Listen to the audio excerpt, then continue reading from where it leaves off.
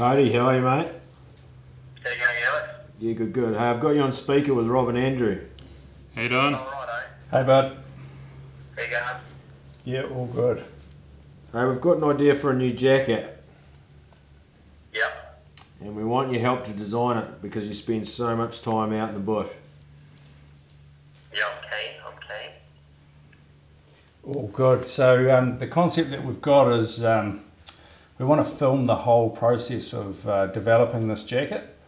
Um, you know, right from concept um, through to you know making samples and sending them to you to test, and you thrashing the crap out of it, and and also the production side and at our factories. So um, yeah, would you be keen on being part of this? Yeah, I'm definitely um, keen on that. Awesome. All right. Well, we'll uh, we might jump on a plane then and come down and see you. Yeah, that sounds like a good plan.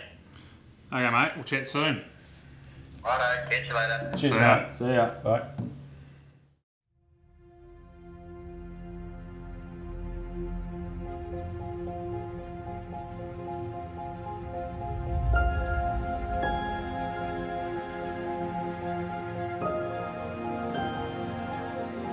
With my travels, I've been pretty keen to get the trophy of each species.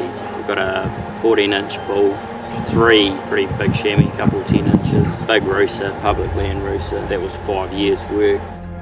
I love the challenge of being in their zone, and, and then you learn so much because you've got to watch an animal and take your time to figure out what it's going to happen, what you know, what's going to unfold. G'day, I'm Cody Weller, and um, I'm a professional hunter.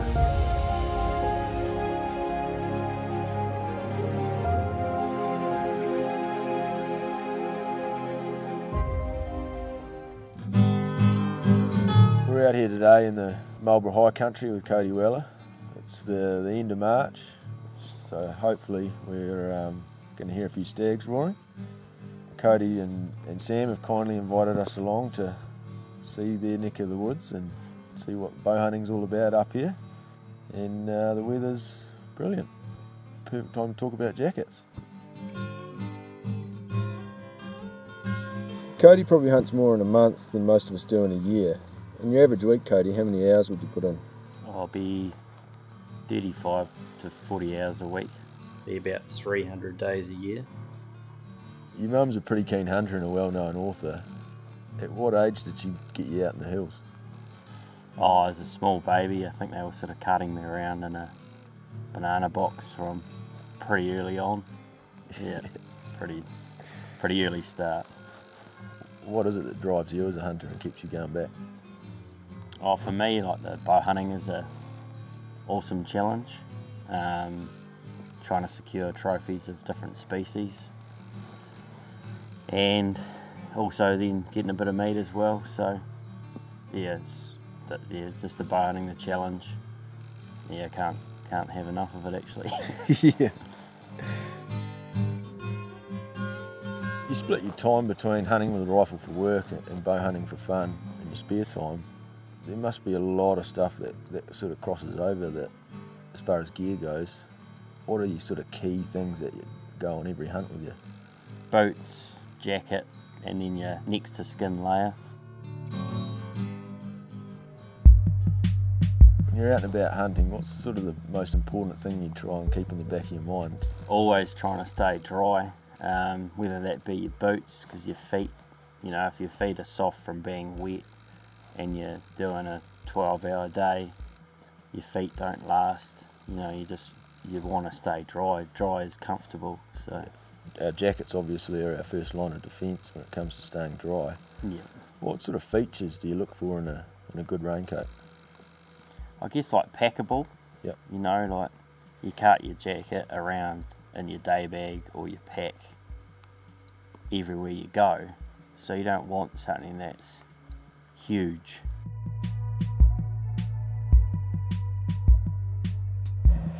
Does this jacket have wing function?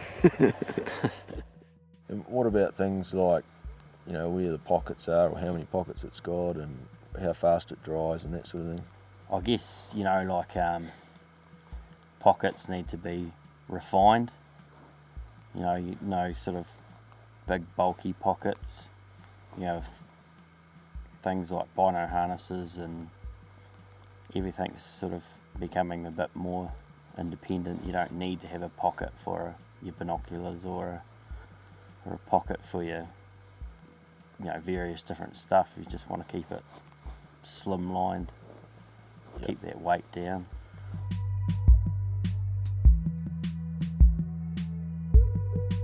So as far as jackets go, in the current Hunter's Element range, we've got jackets like I'm wearing, which are a hard-faced jacket designed for more rugged environments, and we've also got jackets like the one you're wearing, which is a bit quieter.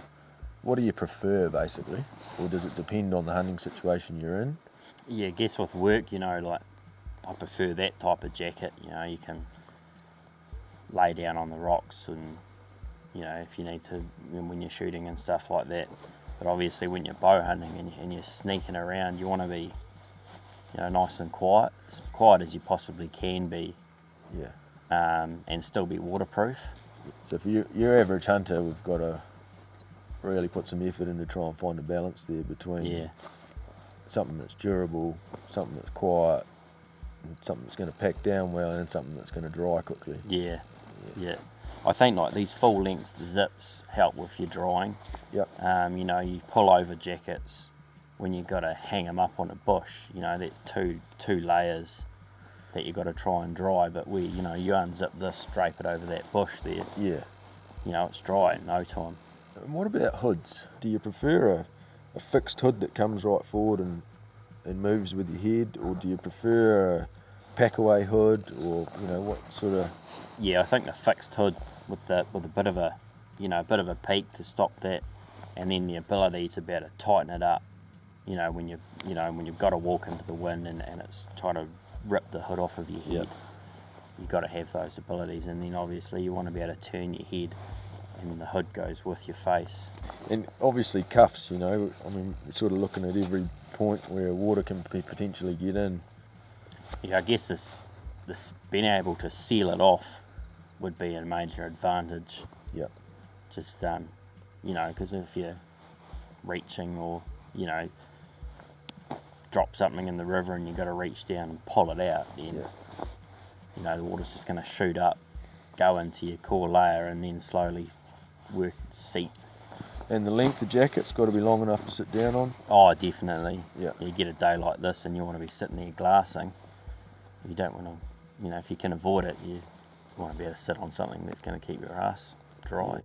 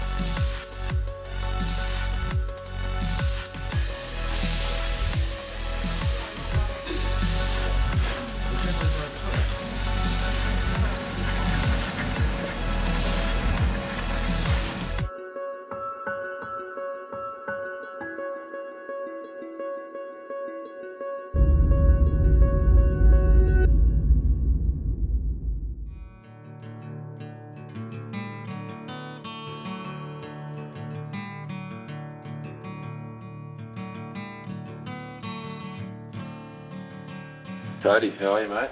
Good, good. Um, how's that jacket going for you? Yeah, pretty good, pretty good so far. How do you find the fit so far? I'm taking the cuts pretty spot on actually. I'm really liking it. It's big enough to stick the puffer under and stuff like that. Yep. Liking the length.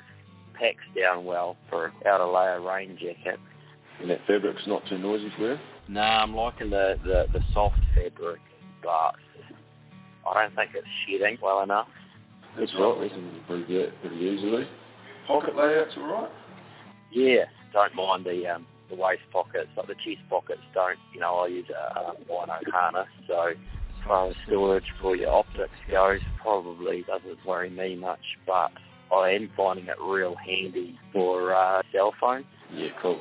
And it's been pretty waterproof and reasonably breathable for you? Yeah, so had it out in the wet bush, you know, and, and yeah, breathable enough. Like you still get a little bit damp, but it's keeping up with how much you sweat when you're climbing hills.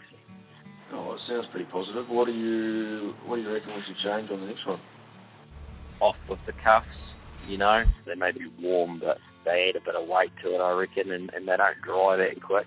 Probably, you know, look at that shell layer. Um, No, too easy, mate. Well, um, I'll get back to the uh, drawing board and get back in contact with the factory, and we'll get it. Um, we'll get another sample on the way.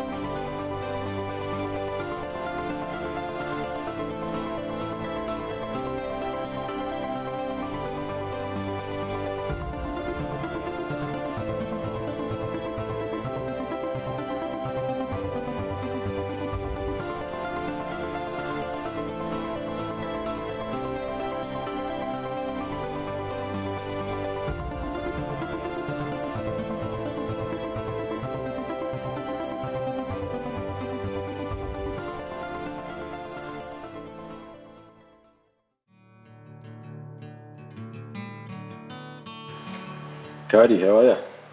good, good. So you've been out and about, and you've had another go on that um, in the sample number two. Yep. So it's obviously um, a bit um, the outer layer is a bit harder. Yep. Um, compared to the other one, so yeah, it's definitely shedding shedding water, which and I'm trying to think drying a bit easier too. Yeah, yeah, I got you. Yeah. And the cut, I think the the cut is the same on that one. Um, Yeah. but obviously the fabric behaves a little bit differently. Do you think the it's still all good that cut in, in that particular fabric? Yeah, I think it's still plenty um, supple enough, you know. Um, yeah, seems to be moving with me pretty well, so I haven't really noticed a huge difference uh, between the two fabrics. So, no, I think the cut's great. Awesome. And uh, the cuffs are obviously a bit better, you reckon? Yeah, cuffs are great. Um, just, uh, you know, not as heavy, dry pretty quick. So, Cool.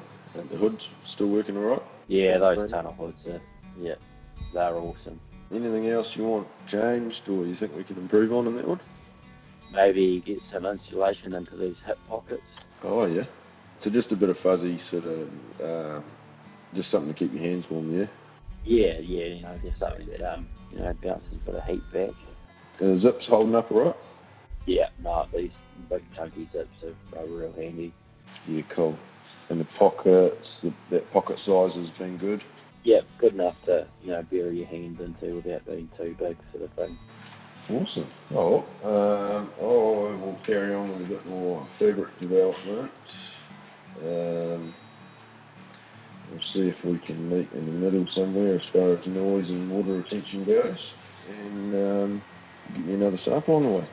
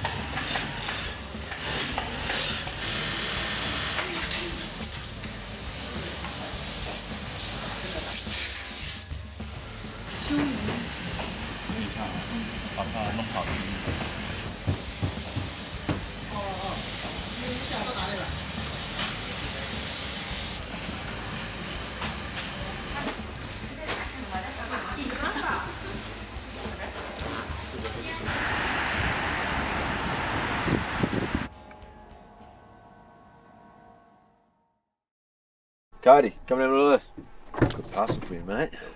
Oh yeah. This is it, eh? That's it. It's nice, eh? What you reckon? Yeah. You reckon we go and give it a test? Yeah, I think we'll give it a run, eh? See if we can pick up something for the Barbie. Yep. All right, let's get into it. We're back in the Marlborough High Country after a really long testing and development phase. The timing's not so good. We've um, all the hinds are pregnant and the stags are in velvet, uh, but there's plenty of pigs around, and there should be a few uh, good meat animals. So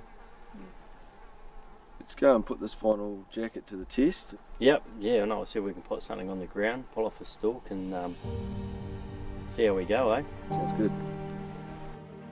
He's actually walking underneath it. Can see. Um, and there's, it's pretty much the only big rock. He's just gonna actually angling out towards it now.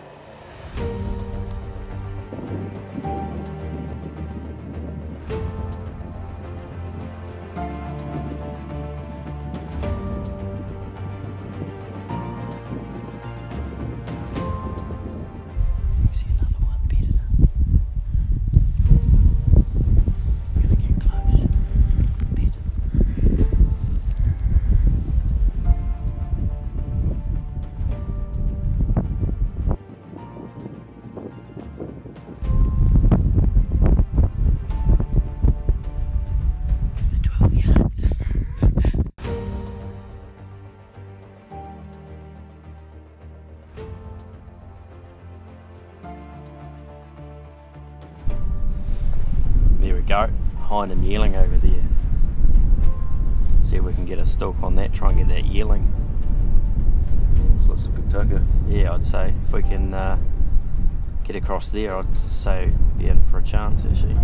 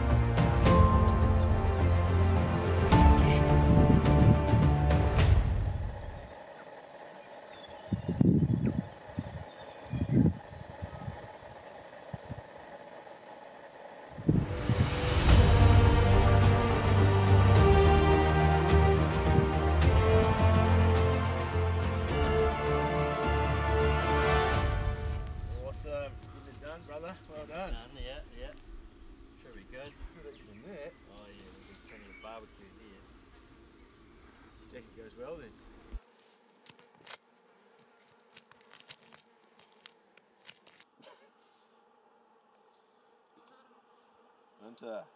Beauty.